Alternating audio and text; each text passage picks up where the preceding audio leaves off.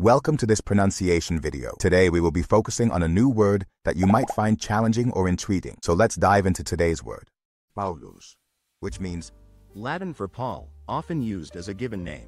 let's say it all together. Paulus. Paulus. Paulus. One more time. Paulus. Paulus. Paulus.